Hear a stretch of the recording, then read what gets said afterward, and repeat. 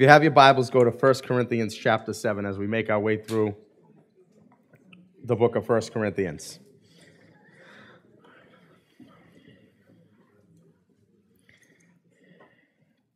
right, let's just pray one more time that God would just settle our hearts and minds as we dig into His Word. Lord, um,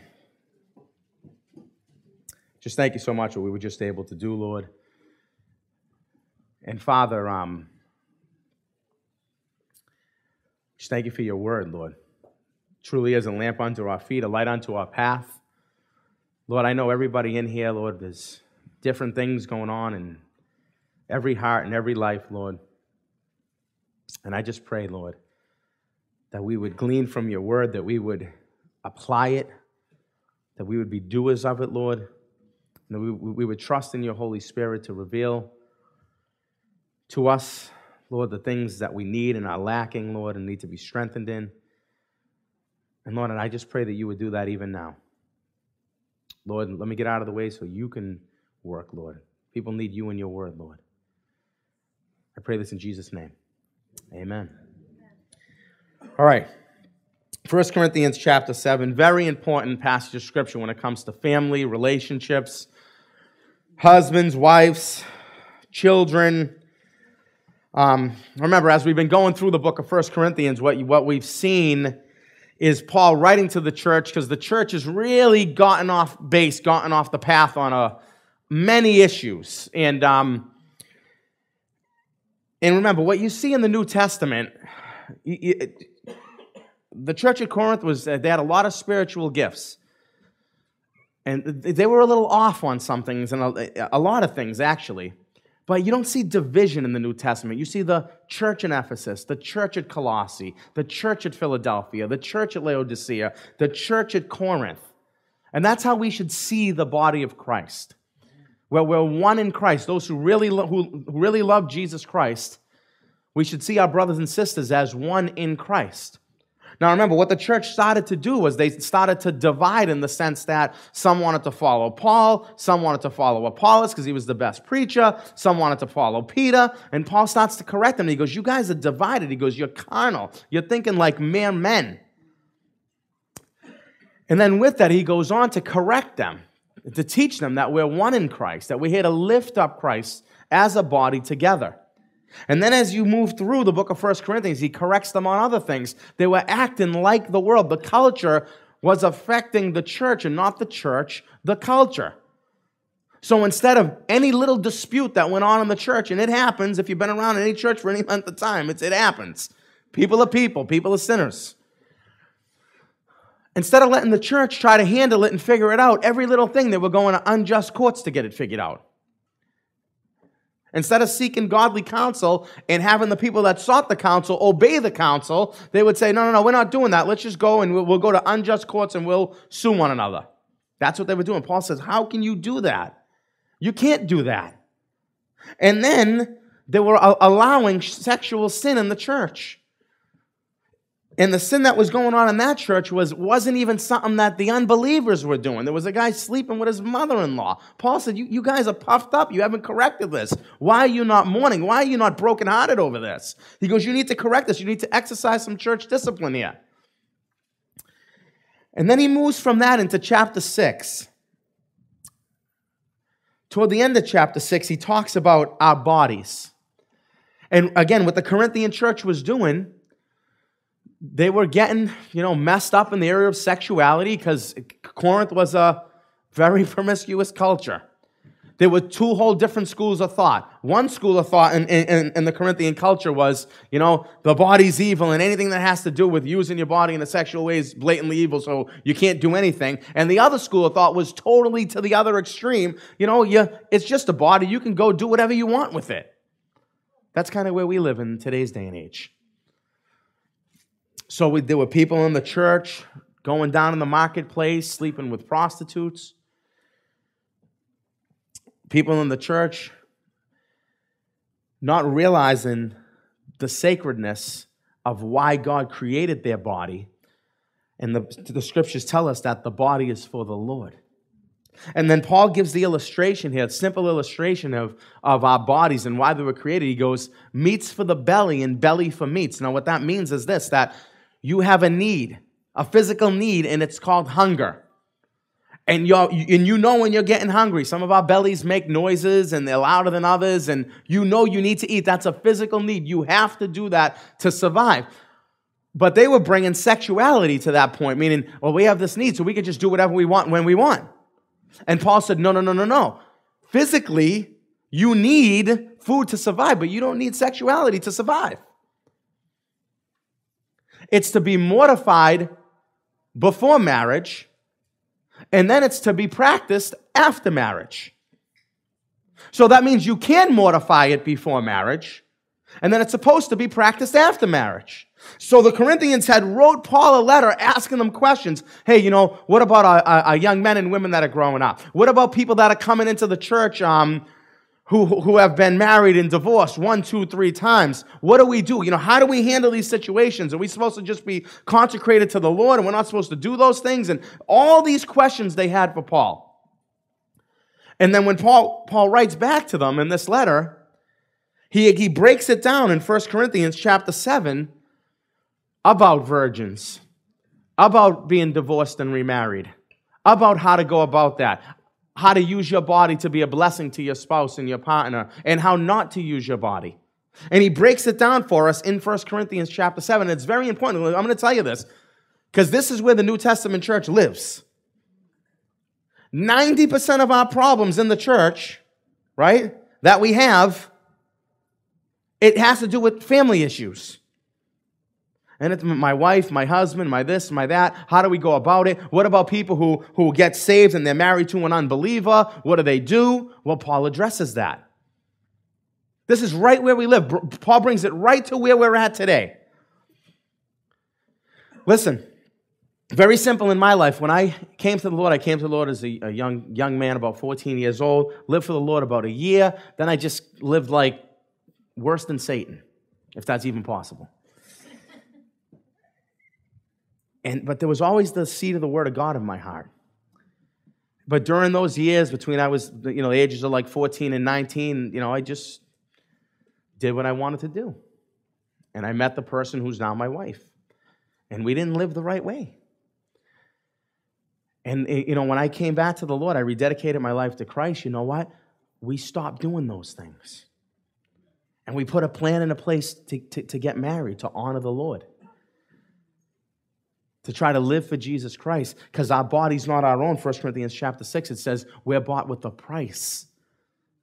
Literally, God gives us our human bodies. And listen, the area of sexuality, it's a good thing. It's not an unclean thing. Again, what was going on in, in that Corinthian culture was there was so, the, the, the extremes were uh, sex is all bad and totally bad. And then the other extreme was you could just do whatever you want. It, was they were so messed up and it was getting into the church. But Paul breaks down what the body's for and the importance of sexuality and intimacy. And it's a clean thing, it's not an unclean thing. And the church had all these questions for Paul, and Paul addresses them one by one. Look what he says, verse 1.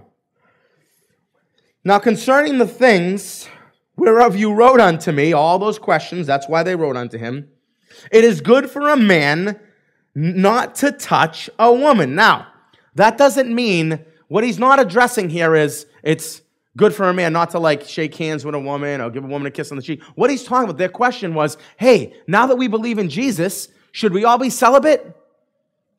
That was his question. That was their question. And Paul's going to address that, and he says, no, absolutely not, because we see the problems that happen in the church with forced celibacy. Do we not see that? And, and, and teaching people that, you know, these people are more holy and they're more set apart because they're, they're celibate forever. Paul said that's wrong. Now, practically, it's good for a man not to touch a woman before you're married. You, you can't anyway, sexually, it's clear, that's fornication. But you know what? I, I, I teach my kids as they're growing up, you know, because I remember I, I, I was a little boy. I'm a big big boy now, but I was a little boy, right? And as I was growing up, you know what? You know, when kids are young, they're four, five, six years old, you know, and they, you know, mommy, daddy, and relationships, and like, ew, people like, they like each other. But then they get older, 7, 8, 9, 10, 11, 12, and it's, oh, cool, oh, nice, you know? You start looking around. God made you that way, right?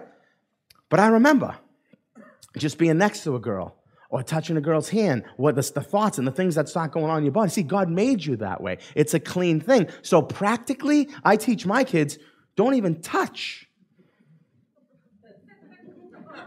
Not even like this. Right?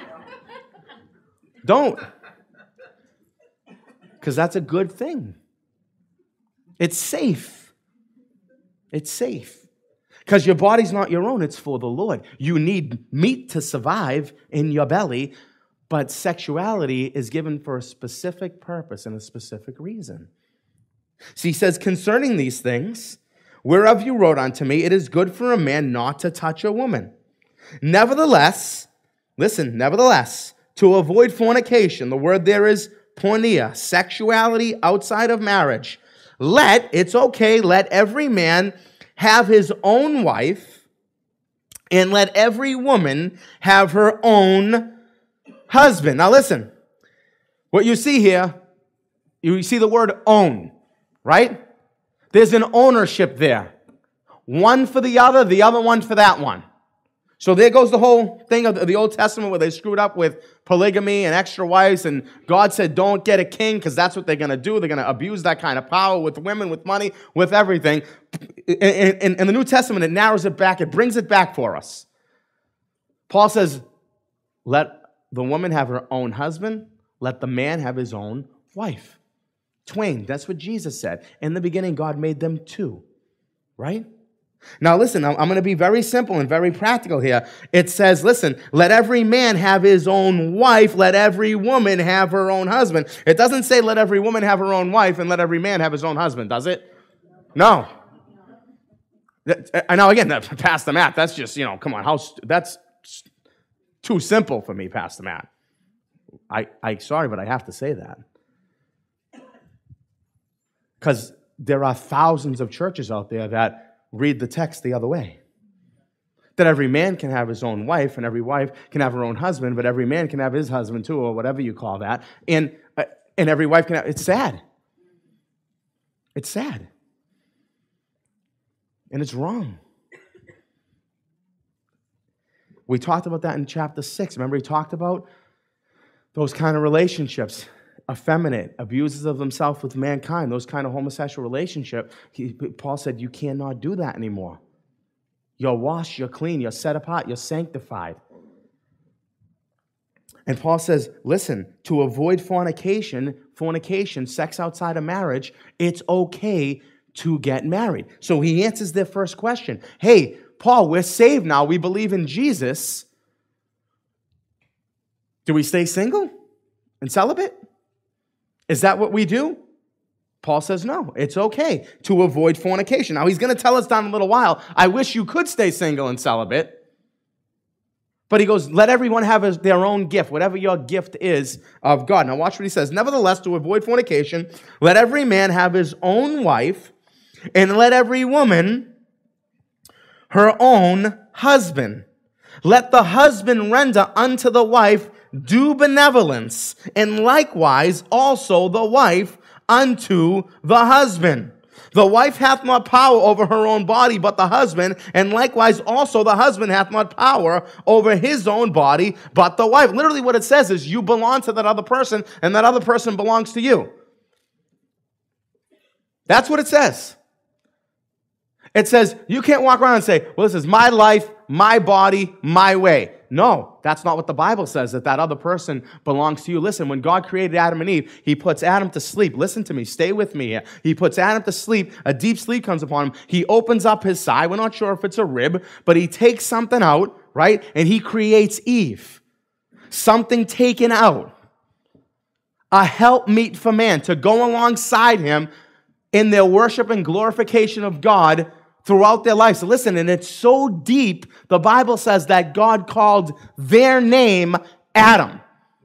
Well, there's two of them, Adam and Eve, but he called both of them the same. That's how he saw them as one. Now, listen, what is sexuality in marriage? What it is, it's literally you're pulling that back, what God took out from the other person, you're pulling it back together. And the term used in the New Testament is One flesh. In the Old Testament, one flesh. You're bringing that back together. What God took out and separated to be a helpmeet, when you become one flesh, you're pulling it back together. That's how deep and intimate it is. You with me? And that's what Paul's breaking down for them. And that's why he's saying you cannot just take your body and go out there and use it however you want. You can't take your body in chapter 6 and go sleep around and do whatever you want with it. With prostitutes, he says, what does he say? He says, Can you take what's Christ and make it the members of a harlot, join it to a, a, a harlot? He goes, How can you do that? You can't do that. Listen, if you're here today, you're not your own. You're bought with a price. God created your body to live in and through you. And the design for marriage is what? That you might become one flesh, one together. That's why the only stipulation or the only reason biblically for divorce is adultery, sex, because you're not pulling that one person in with you together, one flesh. It's outside of marriage. That's the only reason Jesus said, and the only reason he said it is because of the hardness of your heart. That means even if that happens, God still doesn't want that to happen. Look what he says. Let the husband render unto his wife due benevolence, and likewise also the wife unto the husband. The wife doesn't have power. Listen, the word there is authority. The wife doesn't have authority over her own body, but the husband, and likewise also the husband doesn't have authority his, over his own body, but the wife. Now listen, I don't know how this works sexually, but I know this is what I hear. Doesn't seem to work out in my life, but that, you know, guys have more of that physical drive when they're younger, and then when girls start to get a little older, they have it. When that happens in my life, I don't know, because I always seem to have that drive. All right? You with me? You were supposed to laugh at that, but you didn't.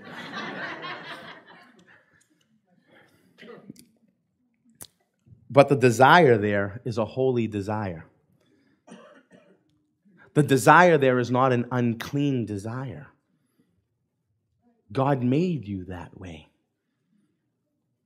And that's why when people come and they just want to say, you know what, I can do what I want in my life, and I'm not sure yet, and, and, and I don't want to get married. Now, listen, you're not supposed to just get married just to have sex, though that's part of it. He's going to say that. Listen, because one of the fruits of the Spirit is self control supposed to be able to control yourself. And obviously, you can control this desire because meat's for the belly, belly for meat. You know what that means? Is you can't control the fact that if you don't eat for 40 days, you'll die. But you can control that desire, at least for a while,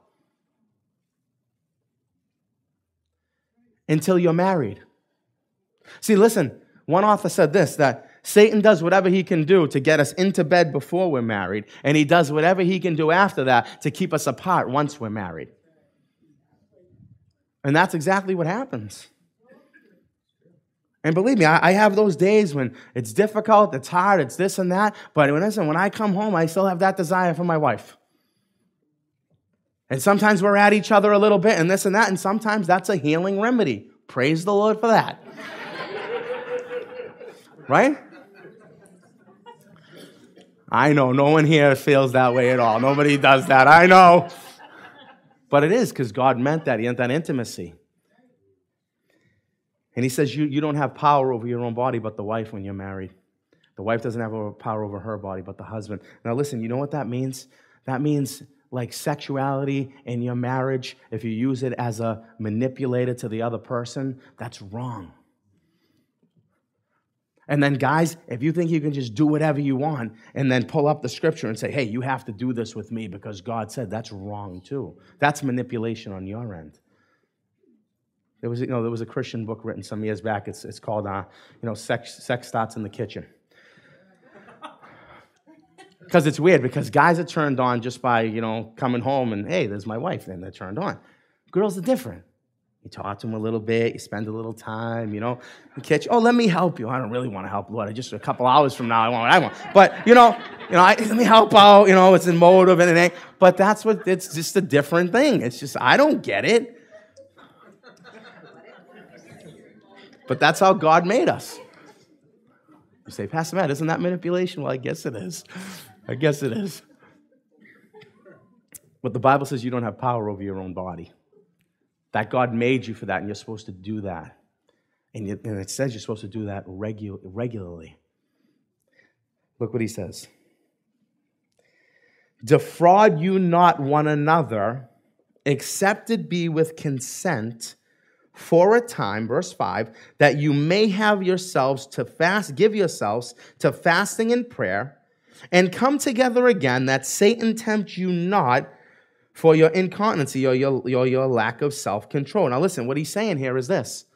Know what defraud means? It means rob, it means to steal. That's what it means. So, what he's saying here is this like, if you don't come together with your spouse regularly, because you're trying to use it as a manipulation tool to hurt the other person, you're literally robbing from them. You're literally stealing from, from them. You're hurting them. You're breaking down that marriage covenant. And Paul said the only time, listen, the only time you should come apart for a certain amount of time, he puts time limits on it. He says, whatever that time is, figure it out beforehand so you can give yourself the fasting and prayer. Now, listen to me. I'll guarantee you the times that we're apart from our spouses sexually, it's not for fasting and prayer. Because I'll tell you that the church would be more of a holy place if that's what it was for. But practically, let's be honest. Let's be honest that, listen, you know what? Uh, me and my wife, we have such this great relationship and we come together regularly. We're in love, this and that. We burn for each other. But, you know, we're, we're purposely spending a week or two apart just to fast and pray. You know what? If you have problems in your marriage, why don't you try that? Why don't you really try that? Try to spend some time with Jesus. Lord, let me see things from your perspective. Let me love my spouse the way you love them, Lord. Let me see them the way you see them, Lord. Why don't you try to do that?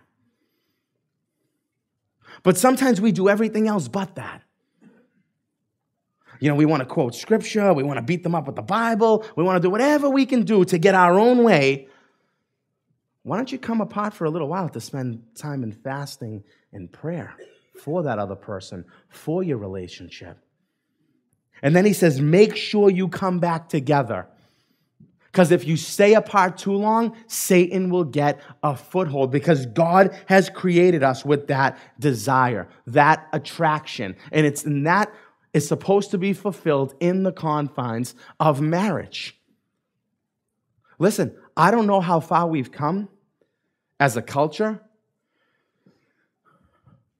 but parents, parents teach their kids that don't believe in the Lord or even take them to churches, they teach their kids such worldly philosophy. They tell them, hey, play the field for a while, go to college, that's your living up time. No, that's probably what you want to go back and do. That's not what God says. That's your live it up. You got to know who you're going to be with. For play, you know, feel it out for a little while. Go backpacking in Europe somewhere and just you know, you know, fulfill all your sexual desires. Because you got to figure out, well, you know, what you like and this and that. That's crazy. That's carnal. That's the culture. That's not God. How can parents teach their kids that? It's crazy. And then, and then some other parents say, well, that's not really our job. We keep our, you know, they'll just figure it out for themselves. Really? Okay. They'll figure it out when they go to school. That's not, uh, that's not our job. Our job just to, you know, hopefully we can teach them how to grow up and make a living. That's our job. No, it's not. Jesus said we're to make disciples, we're to teach them everything he's commanded us. Everything. Deuteronomy chapter 6 talks about our kids, talks about what? Teach them to love the Lord your God with all your heart, soul, mind, strength. He goes, teach these things diligently when you wake up throughout the day, before you go to bed. Teach your kids. That's what we're supposed to do. Well, you know, let the, the, the, schools will just figure out how to teach them about life and sexuality and all that. Really, I don't want some 14 year old hornball teaching my kid about what tr- true sexuality is. That's wrong. I want the Word of God to teach it, though because God's made us with that desire. He's made us with that fire for one another. And it's a, it's a burning. That's what he's going to say. Look what he says. Defraud not one another, except it be with consent for a time, that you may give yourselves to fasting and prayer and come together again, that Satan tempt you not for your incontinency. But I speak this Look what he says. I speak this. This is what I'm saying, Paul. This is my personal opinion. This is what he's saying. I speak this by permission, not by commandment. This isn't a commandment of God, but this is how I feel in my own life. For I would that all men were even as I myself. But every man hath his own proper gift, hath his proper gift of God, one after this manner, and another after that. Now, what is he saying? Paul says, I wish people could be as I. Paul was celibate for the work of the ministry. Paul was actually married before that. He was a member of the Sanhedrin. That's why we know that. And church history tells us that his wife left him because he was on fire for Jesus. And that's why Paul's going to say toward the end of this chapter if the unbeliever departs, let her depart. But if the unbeliever wants to stay with you in marriage, he, he or she, you ought to stay with them and lead them to the Lord. And, and Paul tells them right here, what does he say? He goes, I wish you could do this, stay single and celibate, but that's just me, he says. Everyone has their own gift. Obviously, that's not the norm. And I heard my pastor say it a million times, Pastor Joe Focht, one of my pastors. He said, he said, Well, if the church all listened to Paul, none of us would be here. Remember? Because Paul talked about the present distress at the end of this chapter, the Roman persecution. Christians were being slaughtered, burned alive, crucified, dipped in oil, lit on fire. And he goes, Because of the current distress, you might want to abide like I do, he said. Thank God we didn't, though. We wouldn't be here. Because, you know, because Paul believed Jesus was coming back in his lifetime. And that was a present distress. That's what happened. Read about what happened to the New Testament church.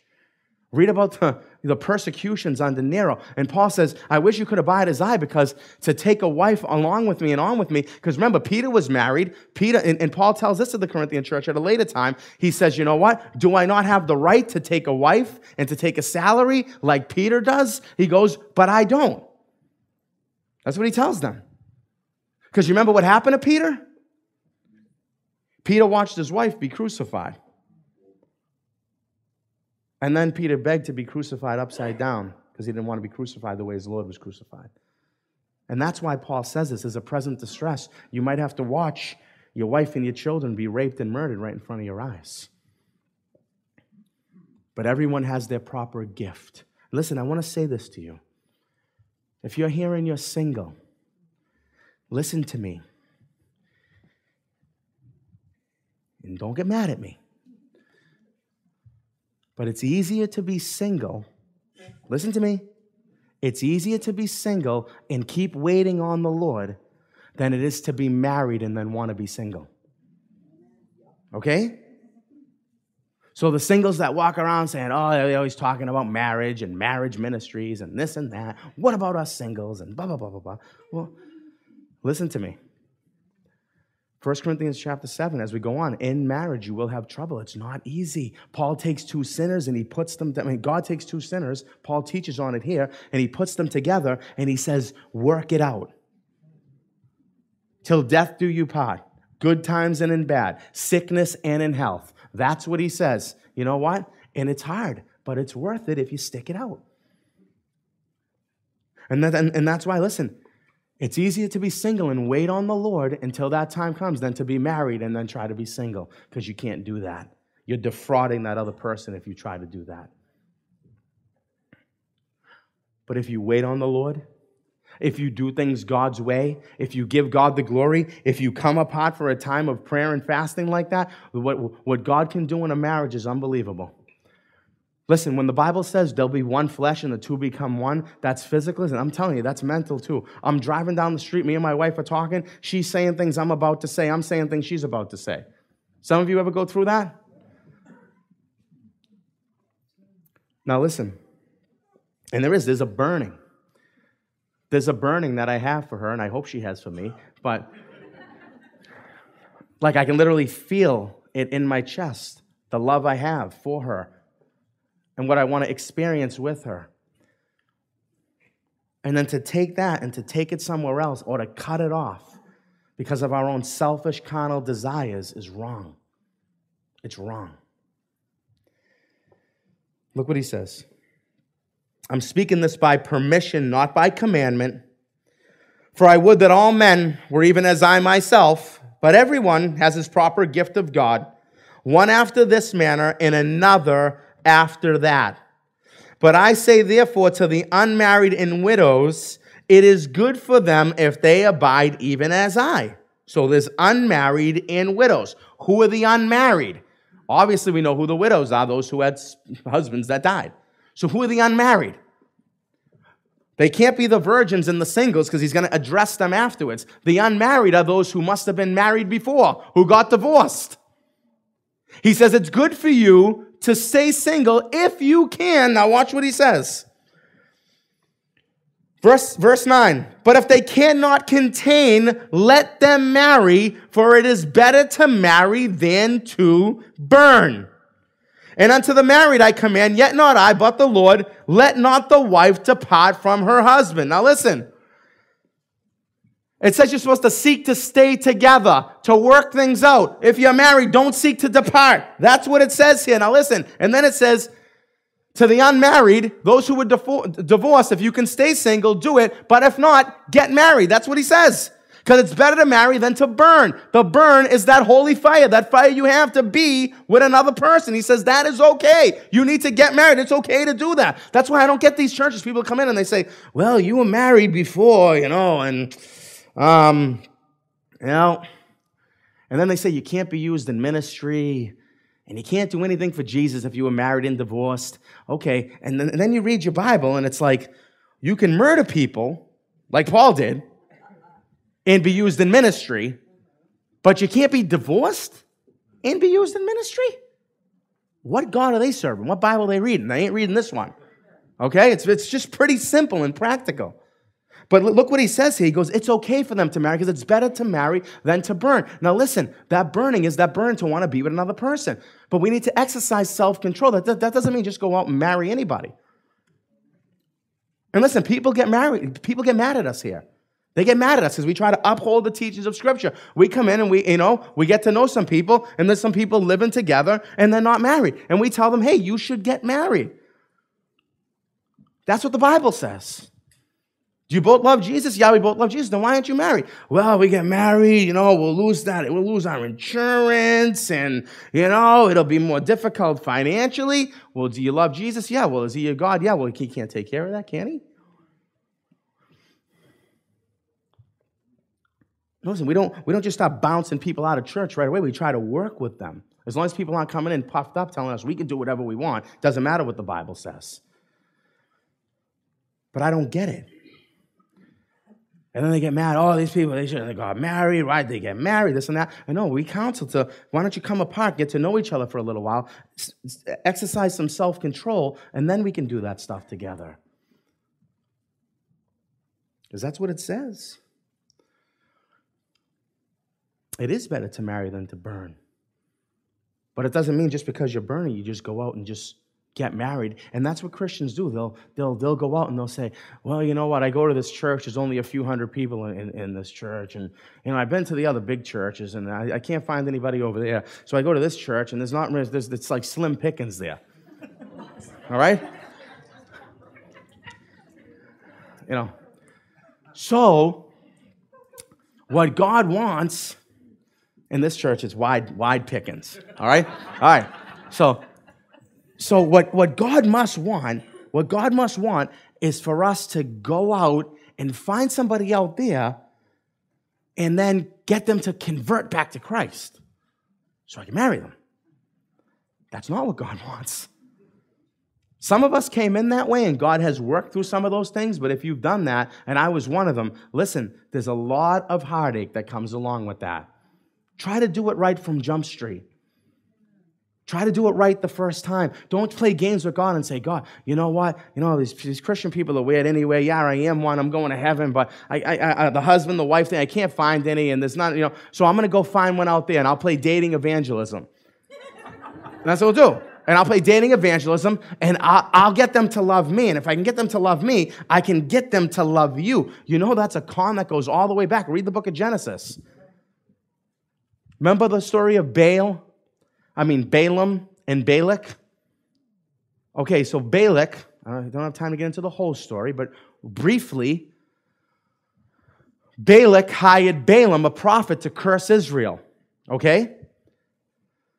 So every time that Balaam would stand up over the children of Israel as they were growing in the wilderness wanderings, he'd try to curse them, and a blessing for Israel came out of his mouth. It's kind of a strange story. It happened, he brought him up on another mountain. Balak said, Curse Israel. You're this, you know, this prophet of God. He was a prophet for hire, by the way.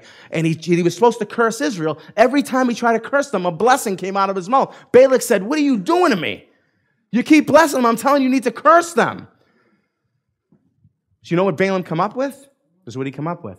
He goes, Hey, I can't curse them. Something divine is happening here. God's forcing me to bless them. I'm trying to curse them. He goes, But what you need to do is find some of your women that don't follow Jehovah, God, and send them in into the young men. And that will turn their heart from God, and God will be forced to chastise them. And that's exactly what happened. And that's usually what happens. That's Satan's game. Hey, let me find someone out here, you know what? And I'll turn their heart. To... No, what happens is it goes the other way. It goes the other way. We need to do the best we can to protect the sanctity of marriage. And listen, if here, if you're single, don't just marry anybody. Wait on the Lord. Some of the ladies are saying, I wish I waited longer. Some of the guys are saying, I can't wait long enough. And I wish I waited longer. And again, you know the old song, Love the one you wait, love the one you wait. All right, do a little of that, right? The one you're married to. And then, and then there's the Christians who play games. They do this. They play games. They say, well, because we didn't do it the right way and we should have waited longer and we didn't and we had sex before we were married and then we made it right. So that must have not have been God's will anyway. So that really doesn't count. So we could just like start all over again. That, what? like you can er, just erase that part of your life and you know that doesn't count and we'll just start all over again. Wrong. When you come together, when you're married, you make that commitment before God and before man. That's the one you're married to. Now, listen, guys, if you want to serve the Lord Jesus Christ, to the measure that you love your wife is to the measure that you'll be used in ministry. Hear me. You want to do more for Jesus? Your wife's either going to be a hindrance or a help. God said she's a help. And if you say she's a hindrance, it's because you need to love her more so you can be used more in ministry. Listen, I've learned this. I've come, listen, when I wanted to be, do more for Jesus Christ, this is what I used to do. When me and Larissa first started coming to church, I'd be like, Larissa, you have to do this, and you have to read that, and you have to do this. And if you don't do that, you're not holy. And all that whole time, she's fallen in love with Jesus Christ. And I'm trying to force her into the woman that I want her to be. Guys, you can't force. If a woman don't submit, you can't make her. Okay? Now listen.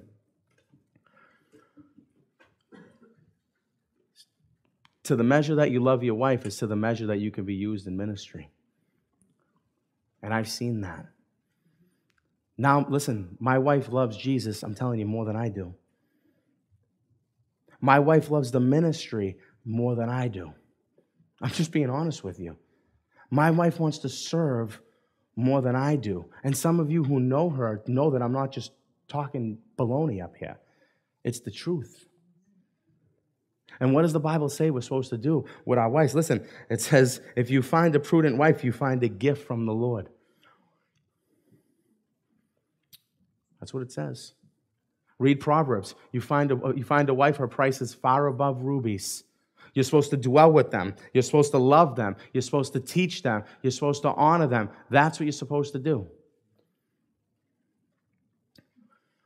And Paul's going to talk about that as you go through the chapter here. Listen, I couldn't do near the amount of ministry that I do today if it wasn't for my wife supporting me, coming alongside, pushing me closer to Jesus. Is that the way we love one another? Is that how we encourage one another in our marriages? Is that what we do? Or are we trying to separate and divide and push aside and control? Or are we surrendered to Jesus Christ? Listen, because when you're surrendered to Jesus Christ and you see things from his perspective, you stop going to the Lord. Because I did this for so long. I go to the Lord and say, Lord, why can't this woman just do this and be this way and do these things and blah, blah, blah? Now I go to the Lord and I say, Lord, make me the man that you want me to be for your glory. Make me more of a man for her and my kids. And then I don't just pray that once, I pray that all the time, a thousand times a year. And God will answer that prayer because it's an unselfish prayer.